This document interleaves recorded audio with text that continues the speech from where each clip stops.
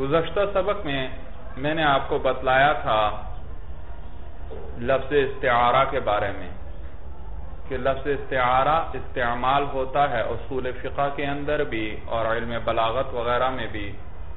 اصول فقہ والوں کے نزدیک استعارہ کی تعریف اور ہے، ان کے نزدیک استعارہ اور مجاز مترادف ہیں۔ مجاز کس کو کہتے ہیں؟ لفظ کو استعمال کرنا معنی غیر موضوع لہو میں، اور یہی استعارہ ہے۔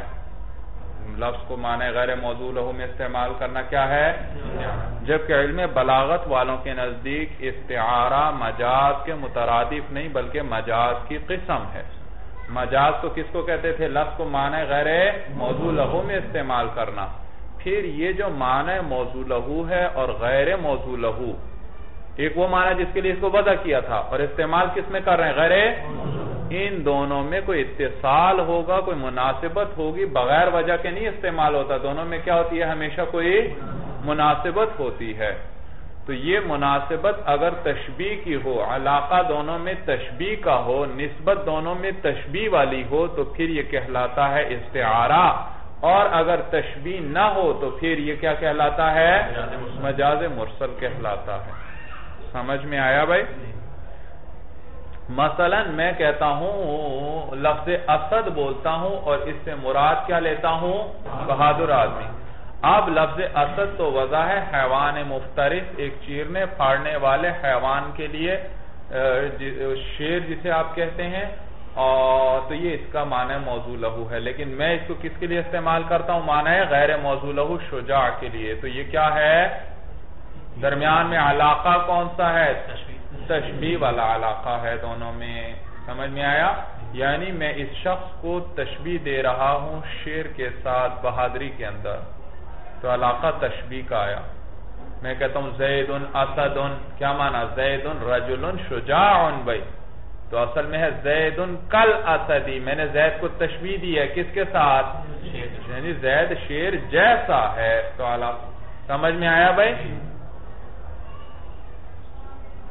تو اسد بول کر جب رجل شجاع مراد دیا تو یہ ہے استعارہ علم بلاغت والوں کے نظر جبکہ مجاز مرسل میں اور علاقے ہوں گے۔ کل بول کر جز مراد ہوگا، کبھی جز بول کر کل مراد ہوگا بھائی۔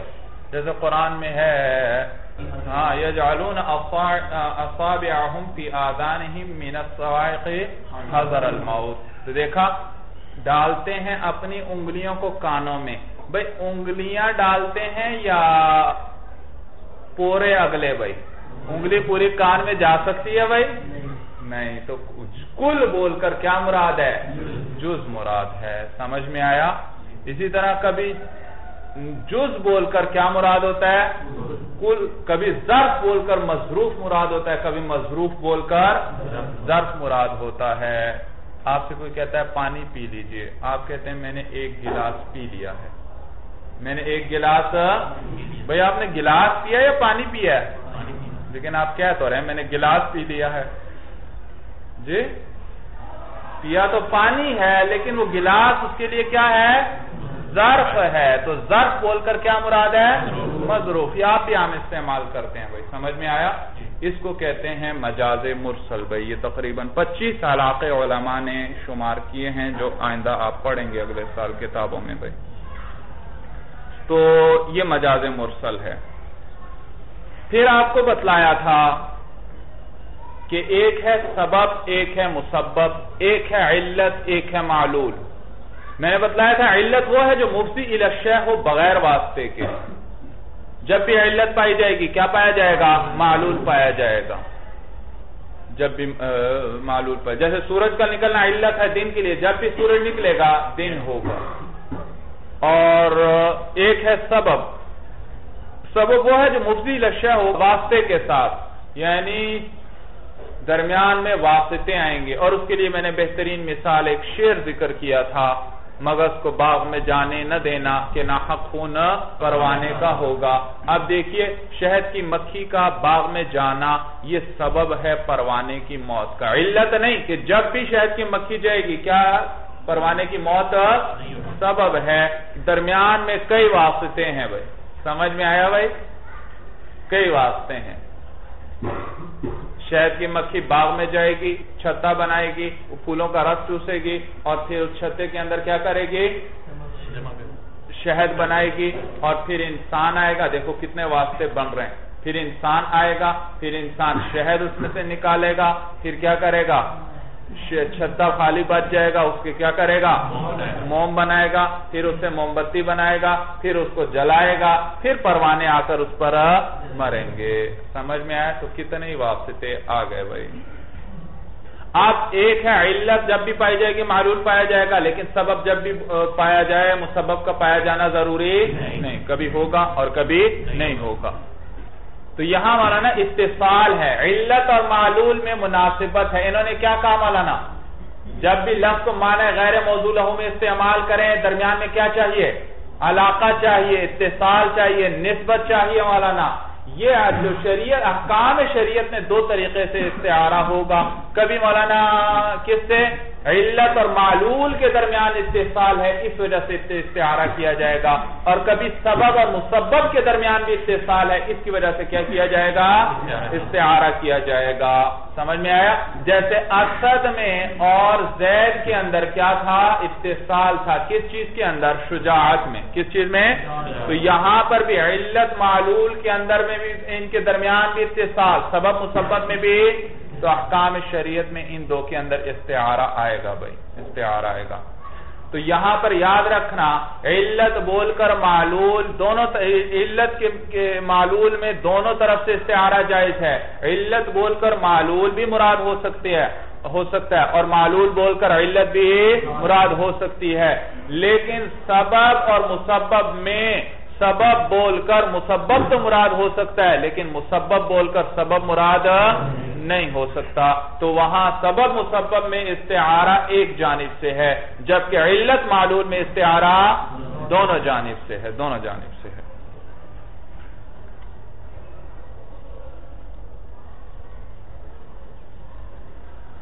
تو سبب مسبب میں، سبب اصل ہے مسبب اس کی فرا تو اصل بول کر فرا تو مراد لے سکتے ہیں، لیکن فرا بول کر اصل مراد نہیں لے سکتے۔ جبکہ علت اصل ہے معلول فرا یہاں پر علت اصل بول کر فرا بھی مراد لے سکتے ہیں اور فرا بول کر اصل بھی مراد لے سکتے ہیں۔ اب یہاں پر ایک ضابطہ یاد رکھیں بھائی، کہ ملکیت ملکیت مولانا تقاضا کرتی ہے اجتماع مملوک کا ملک میں۔ ملکیت کیا تقاضا کرتی ہے؟ اجتماع مملوک کا ملک میں عرف کے اندر مولانا عرف کے اندر۔ کسی چیز کا مالک کسی شخص کو اسی وقت کہا جاتا ہے جب وہ پوری چیز اس کی ملک میں جمع ہو جائے۔ عرف میں کسی چیز کا مالک کسی شخص کو اسی وقت کہا جاتا ہے جب وہ پوری چیز اس کی ملک میں جمع ہو جائے۔ ایک شخص کہتا ہے میں غلام کا مالک ہوں کیا مانا؟ پورا غلام اس کی ملکیت میں جمع ہے۔ پورا غلام اس کی ملکیت میں اگر آدھے غلام کا مالک ہے تو پھر وہ اس کا یہ کہنا صحیح نہیں کہ میں غلام کا کیونکہ پورا غلام اس کی ملکیت میں جمع نہیں ہے۔ تو ملکیت تقاضا کرتی ہے اجتماع مملوک کا کس میں۔ ملک میں۔ جبکہ ایک ہے شرا، خریدنا۔ شرا تقاضا نہیں کرتی، اجتماع مشترہ کا، ملک میں۔ جو چیز خریدی گئی ہے، بھائی وہ کیا ہے؟ آپ خریدنے والے آپ کیا کہلائیں گے؟ مشتری۔ جس چیز کو خریدا ہے، وہ کیا ہے؟ مشترہ تو شرا تقاضا نہیں کرتا، اجتماع مشترہ کا ملک میں۔ کسی چیز کا خریدار آپ کو خریدنے والا اسی وقت نہیں کہا جائے گا کہ جب وہ سارا مشترہ آپ کے ملک میں جمع ہو جائے۔ بلکہ شرا تقاضا کرتا ہے اجتماع مشترہ کا عقد میں۔ کس میں؟ عقد میں اس کو جمع ہونا چاہیے بھائی عقد میں جمع ہو۔ اگرچہ متفرق ہی کیوں نہ ہو۔ اگرچہ متفرق ہی کیوں نہ ہو۔ مثلا آپ نے ایک کتاب ایک غلام کو نصف خریدا۔ غلام کو نصف خریدا، پھر نصف خرید کر بیچ دیا، پھر باقی کا نصف بھی خرید لیا۔ تو اب سارا غلام آپ کے عقد میں جمع ہو گیا۔ اگرچہ متفرق طور پر ہوا ہے، لیکن کیا ہوا؟ پورا جمع تھوڑا تھوڑا کر کے کیوں نہ ہو، لیکن کیا ہوا؟ پورا غلام آپ کے عقد میں نصف پہلے آیا تھا اور نصف تو آپ ملک، وہ مشترہ ملک کے اندر تو اس وقت پورا نہیں، کیونکہ آدھا تو آپ خرید کر کیا کر چکے ہیں؟ بیچ چکے ہیں۔ لیکن، اور اس وقت صرف کتنے کے مالک ہیں؟ آدھے کے لیکن شراط جو ہے، وہ تقاضا کس چیز کا کرتی ہے؟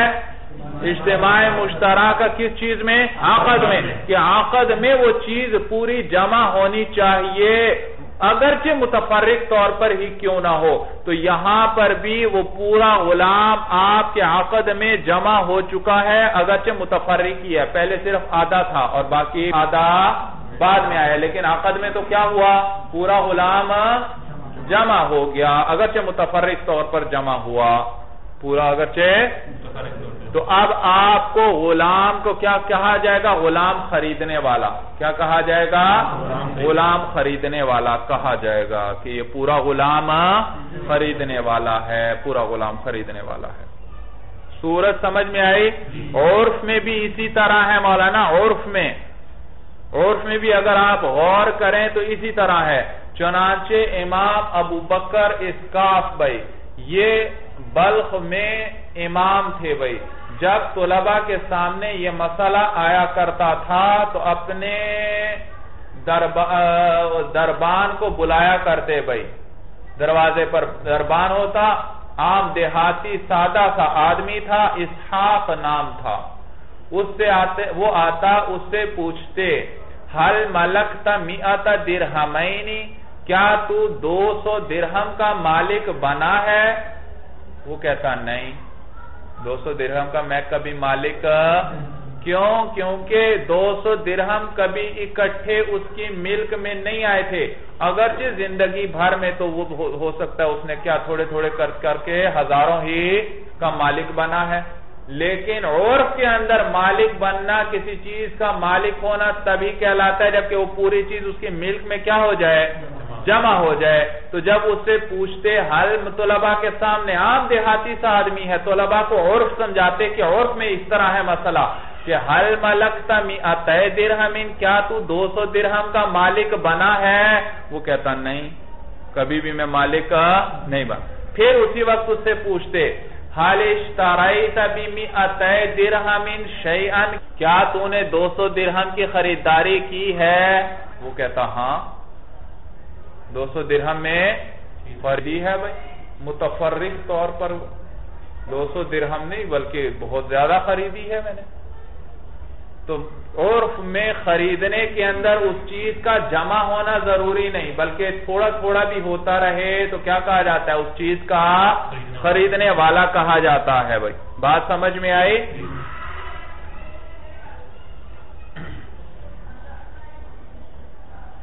سورج سمجھ میں آ گئی۔ تو اس مسئلے کو تو یہ امام ابو بکر اسکاف جو بلخ کے علاقے میں تھے اور ان کے بواب کا کیا نام تھا دربان کا؟ اسحاق۔ تو یہ مسئلہ اسکافیہ یا مسئلہ اسحاقیہ کے نام سے مشہور ہے۔ مسئلہ اسکافیہ یا مسئلہ اسحاقیہ کے نام سے مشہور ہے بھائی۔ سمجھ میں آیا؟ تو امام صاحب پہلے اسے کیا پوچھتے؟ کیا تو دو سو درہم کا مالک بنا ہے؟ وہ کہتا، نہیں، کیونکہ عورت میں دو سو درہم کا مالک کسے کہیں گے؟ جبکہ دو سو درہم اکٹھے اس کی ملک میں۔ اور اگر اس سے پوچھتے، کیا تو نے دو سو درہم کی خریداری کی ہے؟ اب بات سمجھ میں آئے گی آپ کو۔ کیا تو نے دو سو درہم کی خریداری کی ہے؟ وہ کیا کہے گا؟ آپ سے میں پوچھتا ہوں، کیا آپ نے بیس ہزار کی خریداری کی ہے۔ آپ کہیں گے بیس ہزار سے تو کئی گنا ہم نے زیادہ آج تک خریداری کی ہوگی ساری ملا کر۔ تو آپ کیا کہیں گے؟ ہاں میں نے خریداری کی ہے۔ لیکن اگر میں آپ کو کہتا ہوں کیا بیس ہزار کے مالک بنے ہو تو آپ کیا کہیں گے؟ نہیں بھائی، بیس ہزار کے مالک نہیں بنے۔ البتہ بیس ہزار کی میں خریداری بلکہ اس سے بھی زیادہ کی بھئی آپ تھوڑے تھوڑے خرچ کرتے رہتے ہیں تو یہ کتنے ہی بن جاتے ہیں؟ سمجھ میں آیا بھائی تو ضابطہ کیا ہوا؟ ملکیت تقاضا کرتی ہے اجتماع مملوک کا، کس کے اندر؟ ملک میں۔ جبکہ شرا تقاضا نہیں کرتی کس چیز کا؟ اجتماع مشترکہ ملک میں۔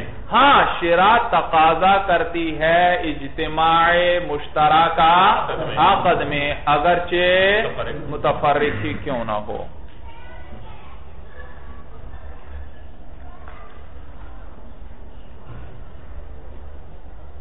سمجھ میں آیا بھائی؟ تو کہتے ہیں مثال الاول پہلے کی مثال جہاں اتصال پایا جا رہا ہے علت اور معلول میں علت اور حکم میں۔ معلول یہاں کیا ہے؟ حکم ہے۔ اضافہ ایک شخص کہتے ہیں ان ملک تو عبدن فہوا حرن اگر میں مالک بنا کسی غلام کا تو وہ آزاد ہے۔ فَمَلَكَ نِصْفَ الْعَبْدِ تو وہ مالک بنا کس کا؟ آدھے غلام۔ کا۔ فَبَاعَهُ اس نے اس کو بیچ دیا۔ ثم ملک نصف الاخر پھر وہ مالک بنا نصف آخر کا، باقی آدھے کا۔ لم یعتق از لم یجتمع فی ملکی ہی لم یعتق مولانا، اس کو معروف کا سیغہ پڑھیں۔ آزاد ہونا آزاد ہونا۔ لم یعتق وہ غلام آزاد نہیں ہوگا۔ بھائی، اس نے پہلے ایک شخص نے کیا کیا بھائی؟ ان ملک تو عبدن فہوا اگر میں غلام کا مالک بنا تو آزاد ہے۔ اب اس نے کیا کیا؟ آدھا غلام خرید لیا اور آدھا خرید کر بیچ دیا۔ پھر باقی کا آدھا بھی خرید لیا۔ اب مولانا یہ باقی آدھا آزاد نہیں ہوگا۔ اس لیے کہ اس نے ملک تو کہا تھا۔ اور ملکیت تقاضا کرتی ہے کس چیز کا؟ اجتماع مملوک کا ملک میں۔ اور یہاں اجتماع مملوک ملک میں نہیں، پورا غلام اس وقت اس کے ملک میں نہیں۔ لہذا وہ باقی آدھا غلام آزاد نہیں ہوگا۔ اس نے تو ملک تو کہا تھا جبکہ میں پورے غلام کا مالک ہوں تو وہ آزاد ہے اور یہ پورے غلام کا مالک نہیں۔ ہوں لم یاتی غلام آزاد نہیں ہوگا اس لم یجتمع فی ملک ہی کل العبد، اس لیے کہ جمع نہیں ہوا اس کی ملکیت میں پورا کا پورا غلام۔ ولو قال، اور اگر اس نے یوں کہا، ان اشترائت عبدا فهو حر، اگر میں نے غلام کو خریدا فهو حر، تو وہ کیا ہے؟ آزاد ہے۔ اب فشترا نصف العبد، پس اس نے خرید دیا نصف غلام کو فباہو اس کو بیچ دیا، ثم اشترا نصف الاخر پھر نصف آخر باقی نصف کو بھی خرید دیا آتاقا نصف الثانی، تو آدھا نصف کیا ہو جائے گا؟ آزاد ہو جائے گا، آزاد ہو جائے گا۔ سمجھ میں آیا بھائی؟ کیوں؟ کیونکہ اس نے شرا کا و عبدن اگر میں نے غلام خریدا اب اس وقت آدھا اس نے پہلے خریدا اور بیچ دیا اور باقی آدھا پھر خریدا تو اب پورا غلام تو اس کی ملکیت میں جمع نہیں لیکن کوئی بات نہیں اس نے کیا ذکر کیا تھا؟ شیرہ اور شیرہ تقاضا نہیں کرتی اجتماع مشترکہ خریدی ہوئی چیز کا ملکیت میں پورا جمع ہونے کا تقاضا اور یہاں بھی پورا غلام کوئی نہیں کوئی حرج نہیں۔ ہاں البتہ شیرہ تقاضا کس چیز کا کرتی ہے؟ اجتماع مشترکہ عقد میں، اگرچہ متفرق ہی اور پورا غلام اس کے عقد میں کیا ہو چکا ہے؟ جمع ہو چکا ہے، اگرچہ متفرق طور پر ہی تو جیسے پورا ہوا عقد کے اندر غلام تو وہ حصہ جس کا وہ مالک تھا وہ فوراً کیا ہو جائے گا؟ تو نصف ثانی آزاد ہو جائے گا۔ نصف ثانی کیا ہو جائے گا؟ آزاد ہو جائے گا۔ سورج سمجھ میں آ گئی بھائی؟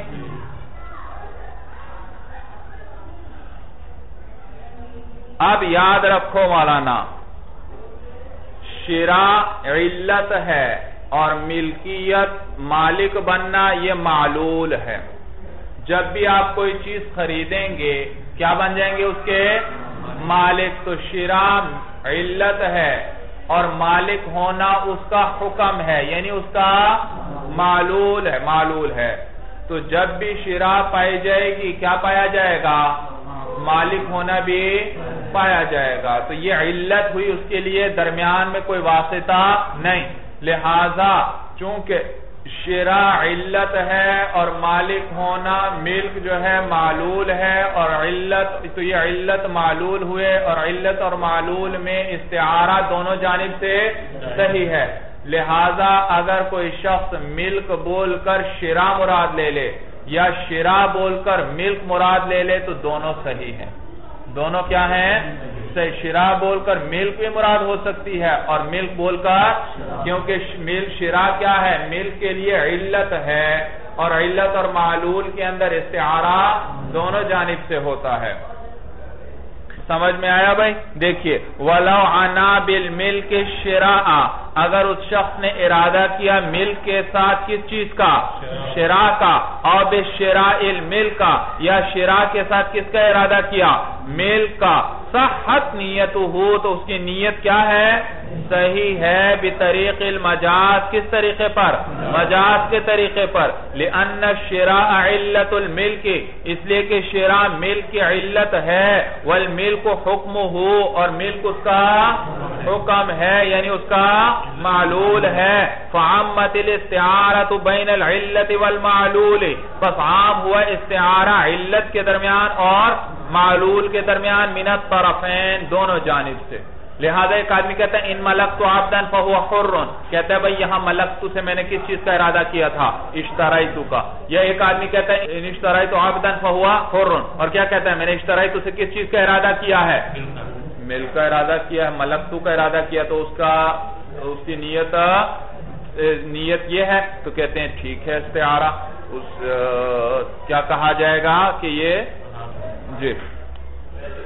تو دونوں جانب سے استعارہ صحیح ہے، مگر یاد رکھو، اب مفتی کے پاس فتوہ لینے آئے۔ فتوہ لینے آئے تو فتوہ اس کے قول کے مطابق، اس کی نیت کے مطابق دیا جائے گا۔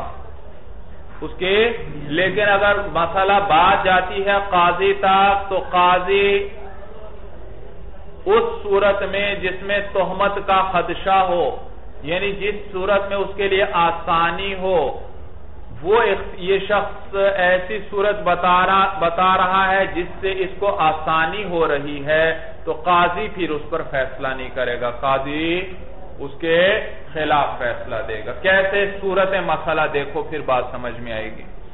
مثلا ایک آدمی کہتا ہے، ان ملک تو عبدن فہو حرن اگر میں غلام کا مالک بنا تو غلام آزاد ہے۔ آپ کھڑے ہوئے تھے، آپ کو پتا چلا اچھا چلو بھائی، اس کو آزماتے ہیں۔ آپ نے اپنا ایک غلام فوراً اس کو دے دیا۔ ہدیہ ہبا کر دیا مولانا۔ وہ غلام کا مالک بنا یا نہیں؟ غلام کو فوراً کیا ہونا چاہیے؟ آزاد۔ لیکن وہ کہتا ہے، نہیں بھائی، میں نے ملک تو بول کر اشترائی تو کا ارادہ کیا تھا۔